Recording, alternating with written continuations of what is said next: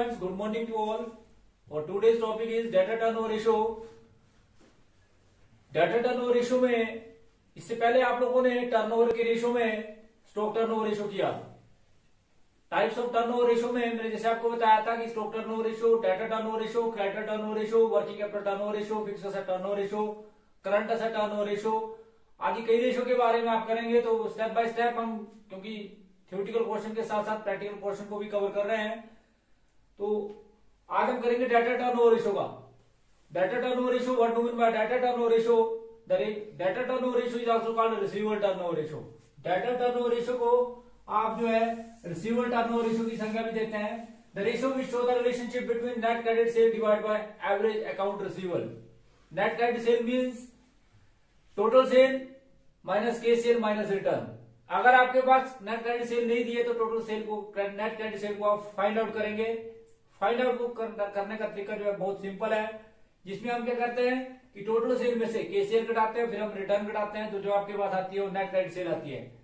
The ratio which show the relationship between net credit sale divide by average account receival account receival include total debtors plus bill receival average account receival means opening bill receival plus opening debtors plus closing bill receival plus closing debtors divide by two ध्यान रखें इस बात का कि divide by to से ही करना है, चाहे opening bill receiver plus closing bill receiver plus opening debtor plus closing debtor divide by two तो इस बात का ध्यान रखें आप कि यदि आपके पास ये सारी आइटमें दिए हैं तो आप जो है opening bill receiver plus closing bill receiver plus opening debtor plus closing debtor divide by two करेंगे। यदि किसी बिज़नेस के अंदर आपके पास ओपनिंग डेटर और क्लोजिंग डेटर दिए तो आप opening debtor plus closing debtor divide by two करेंगे। यदि किसी बिज़नेस के अंदर ओपनिंग बिल रिसीवर और क्लोजिंग बिल रिसीवर ही दिए तो opening bill receiver plus closing bill receiver divide by two दिए, करेंगे। इसका मतलब है कि कोई भी आइटम आपके पास दिए तो इस प्रकार से आप इसको फाइंड आउट करेंगे। अगर किसी बिज़नेस के अंदर ओपनिंग बिल रिसीवर और ओपनिंग डेटर्स नहीं दिए तो आप क्लोजिंग बिल रिसीवर और क्लोजिंग डेटर्स को ही average debtor average account receiver के बराबर मानेंगे। उस कंडीशन में आप इसे दो से डिवाइड नहीं करेंगे। ध्यान रखें इस बात का कि यदि किसी बिज़नेस के अंदर ओपनिंग बिल रिसीवर या ओपनिंग डेटर नहीं दिए है तो उस बिज़नेस के अंदर क्लोजिंग डेटर और क्लोजिंग बिल रिसीवर को ही एवरेज लेटर माना जाएगा, अर्थात closing bill receiver plus closing debtor is equal to average debtor तो इस बात का भी ध्यान रखें, यदि ओपनिंग डेटर ही दिए या क्लोजिंग डेटर ही क्लोजिंग डेटर दिए तो क्लोजिंग डेटर ही एवरेज लेटर के बराबर होंगे। यदि क्लोजिंग बिल रिसीवर ही दिए तो क्लोजिंग बिल रिसीवर ही एवरेज लेटर के बराबर होंगे। तो ये आप बड़ी ध्यान से रखें। ध्यान रखें इस बात का। इस रेशो के अंदर ये कहा जाता है कि इसका कोई थम रूल नहीं है। जैसे आप लोगों ने इक्विटी रेशो इक्विटी रेशो के अंदर या प्रोपराइटरी रेशो के अंदर कुछ थम रूल देखे थे कि भी इतना अगर हो तो यह व्यवसाय के लिए अच्छा माना जाता है। इसके अंदर कोई ऐसा थम रूल नहीं है। Higher is the ratio better is the result जितना अधिक आता है उतना व्यवसाय के लिए अच्छा माना जाता है। ये इस बात की ओर इंडिकेट करता है कि जो आपके सेल्स मैनेजर हैं, उनकी एफिशिएंसी को इंडिकेट करता है कि कितनी जल्दी आपके डेटर्स जो है वो केस में कन्वर्ट हो रहे हैं। ये इस बात की ओर इंडिकेट करेगा। दैट मीन्स कि दैट दैट और ये लोअर इज़ द रेशियो जो है, ये इनएफिशिएंट मैनेजमेंट मैनेजमेंट एफिशिएंसी को इंडिकेट करेगा कि मैनेजमेंट की एफिशिएंसी जो अच्छी नहीं है। अगर लोअर आता रेशियो तो वह व्यवसाय के लिए अच्छा नहीं माना जाएगा। अब बात आती है कि किस प्रकार से आप इसको करेंगे, या higher is the ratio better is the result and lower is the ratio is not better result किस प्रकार से आप उस बात को इंडिकेट करेंगे कि मैनेजमेंट की एफिशिएंसी कैसी है। हम क्या करते हैं? एक फर्म का, दूसरी फर्म के साथ कंपैरिजन करते हैं। अपनी फर्म का पिछले वर्ष के डाटे के साथ कंपैरिजन करते हैं। फिर हमें पता लगता है ये हायर या लोअर है। और अगर ये हायर आता तो इस बात की ओर इंडिकेट करता है कि मैनेजमेंट की जो क्रेडिट पॉलिसी है वो बहुत अच्छी है। और अगर अगर ये लोअर आता तो दैट मीन्स की credit policy of management is not good तो ये इस बात की ओर इंडिकेट करता है। दूसरा, आप सभी जानते हैं कि जब कोई चीज़ जो है डेटर जो है, आपको डेटर से कलेक्शन लेनी होती है और ये प्रोडक्शन एफिशिएंसी को भी जो आपके प्रोडक्शन में बंदे लगे हुए हैं, उनकी एफिशिएंसी को भी इंडिकेट करता है। और ये इस बात की ओर इंडिकेट भी करता है कि आपके कोई भी बैड डेट्स या प्रोविज़न फॉर डाउटफुल डेट नहीं बनते हैं। ये ज़्यादा हायर जितना अधिक आता है, उतना व्यवसाय के लिए अच्छा माना जाता है। तो इस रेशो के अंदर आप सारी बातें, ये सारी बातें ध्यान रखेंगे। साथ साथ में ये ये बोलते हैं कि जितना हायर आता है, कि उसके लिए जो है ये अच्छा माना जाता है। ये रेशो जो है रिलेशनशिप स्थापित करता है नेट क्रेडिट सेल और average debtor average account receival के बीच में। और इस रेशो के द्वारा हम जो है इस बात की ओर इंडिकेट करते हैं कि आपको, आपकी कलेक्शन पॉलिसी कैसी है। उसके बाद इस बात का, इसमें कुछ एक बातों को आपने विशेष रूप से ध्यान रखना है कि इसमें प्रोविज़न फॉर बैड एड्स या डाउटफुल डेट्स को इग्नोर किया जाएगा। जब आप डेटा टर्नओवर रेशियो का क्वेश्चन करेंगे, कई बार आप लोगों के माइंड में होता है कि ये प्रोविज़न फॉर डाउटफुल डेट दिया है डेटर्स दिए हैं, इनको हम बैड डेट्स में से, यानी कि इनको हम सटी डेटर में से लेस कर देते हैं। ऐसा नहीं करना है। इस बात का विशेष ध्यान रखना है कि ना ही प्रोविज़न फॉर डाउटफुल डेट ना ही provision for bad debts sundry debtor में से लेस किए जाएँगे। ये आप ध्यान रखें। और इस बात को आपने बड़े अपने बड़े ध्यान से में रखना है क्योंकि कई बार हम क्वेश्चन को करते समय हमारे मन में यही डाउट आता है क्वेश्चन हमारे को आता है, परंतु हम प्रोविज़न फॉर डाउटफुल और बैड डेट्स को देखकर एक बार घबरा जाते हैं कि इसको माइनस करें या नहीं करें। तो ये आप लोगों को क्लियर इंडिकेशन दे दिया जाता है कि जो प्रोविज़न फॉर डाउटफुल डेट मतलब प्रिक्वेशन क्या रखनी है आपने? आपने ये प्रिक्वेशन रखनी है कि प्रोविज़न फॉर डाउटफुल डेट और बैड डेट्स को आपने इग्नोर करना है, उसको आपने ध्यान में नहीं रखना है।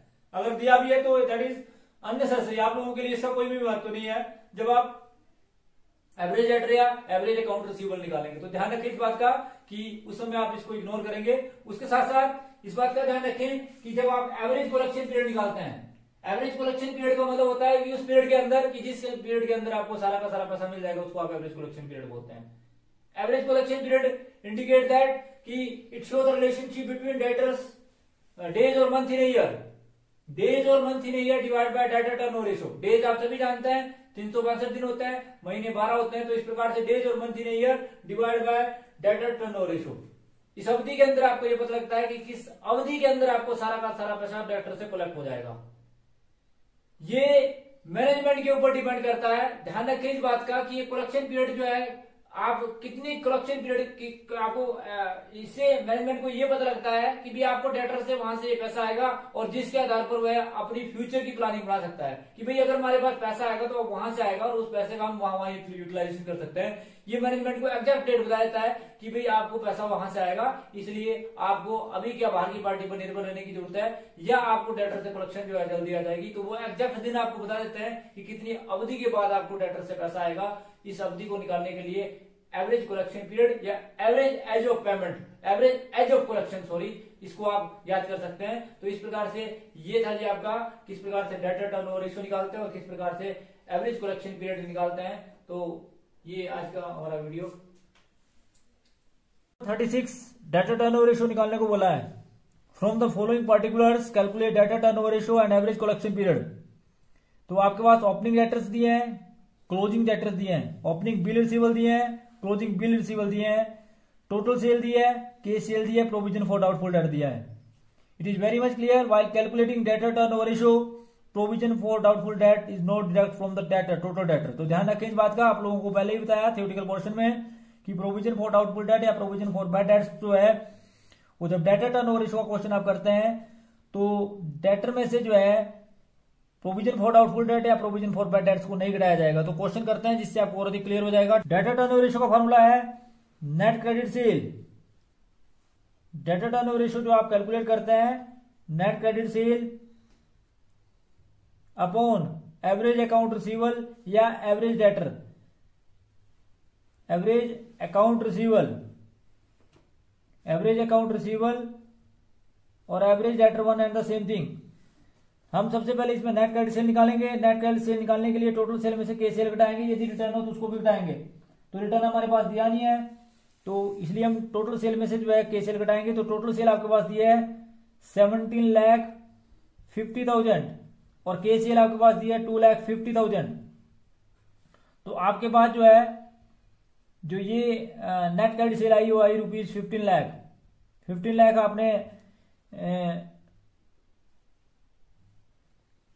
नेट क्रेडिट सेल निकाली, उसके बाद आप एवरेज डेटर निकालेंगे। एवरेज डेटर को निकालने का फॉर्मूला होता है opening debtors plus closing sundry debtors plus opening bill receival plus closing bill receival divide by two तो हमारे पास ओपनिंग डेटर्स दिए हैं one lakh fifty thousand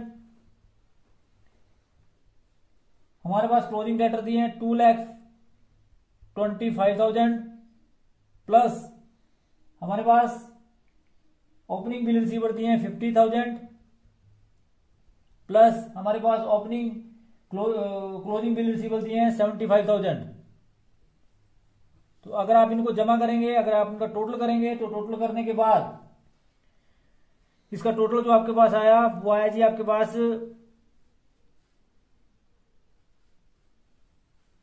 five lakh तो फाइव लैख को आपने टू से डिवाइड किया टू से भी डिवाइड करना आपने तो आपके पास आया rupees two lakh fifty thousand two lakh fifty thousand जो आपके पास, ये एवरेज अकाउंट रिसीवर है एवरेज डेटर है.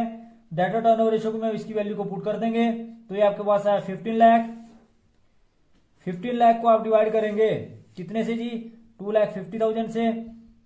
तो टू लैख फिफ्टी थाउज़ेंड से डिवाइड करने के बाद आपके पास जो आंसर आया हुआ है सिक्स टाइम ये आपके पास आंसर आया जी सिक्स टाइम्स टाइम्स में इसका आंसर लिखना ज़रूरी है। उसके बाद एवरेज कलेक्शन पीरियड निकालना है तो एवरेज कलेक्शन पीरियड का फॉर्मूला होता है डेज़ और month in year that means कि आप कितने कितने अवधि के अंदर जो इसको कलेक्ट कर लेंगे पैसा सारा डेटर से तो डेज़ जो है अगर आपसे डेज़ पूछे हैं तो आप 365 लिखेंगे। अगर आपसे मंथ पूछे तो आपके पास 12 मंथ होते हैं आप सभी जानते हैं। 12 मंथ को आप सिक्स टाइम से डिवाइड करेंगे debtor turn over ratio divide करेंगे। तो इसका मतलब है कि टू मंथ्स के अंदर जो है आपको सारा का सारा पैसा जो है डेटर से मिल जाएगा। तो ये आपका डेटर कलेक्शन पीरियड था। अगर ये दिन में पूछा होता तो सेवेंटी थ्री डेज़ में हम्म, या वर्ष जो भी थे वो उसको आप थ्री सिक्सटी फाइव को सिक्सटी डेज़ के अंदर आपको मिल जाता तो उसको आप उसके डिवाइड करते हैं तो दो महीने के अंदर आपको कलेक्शन डेटर से पैसा सारा का सारा मिल जाएगा। तो डेटर कलेक्शन पीरियड किस प्रकार से निकालते हैं और डेटर टर्न ओवर कैसे निकालते हैं। तो thanks for watching the video please like comment and subscribe my channel thank you